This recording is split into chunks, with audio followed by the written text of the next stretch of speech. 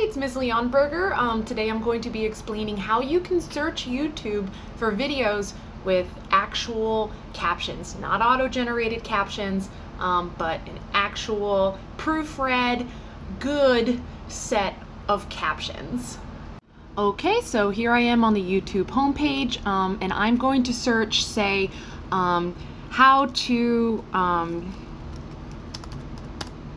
use Flipgrid. That's a great example. Okay, how to use Flipgrid. So all sorts of videos here and they probably all have auto-generated captions. Um, but auto-generated captions are, in my opinion, not useful. Um, they're very, very frequently inaccurate.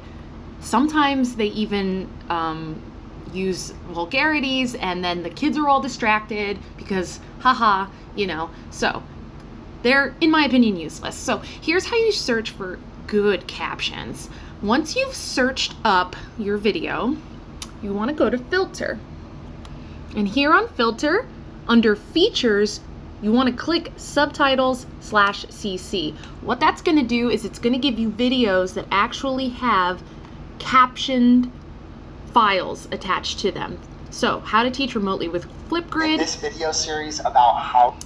As you can see here, when I click on subtitles, it does not say English auto-generated. It says English. That shows me that the person who made this video or someone who contributed to it actually went through and added captions that are accurate.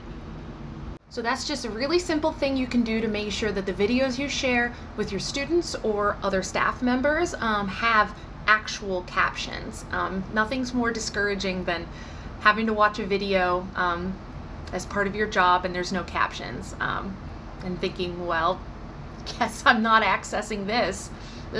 Um, so, so easy, just going to filters and searching for subtitles and closed captions. Bye!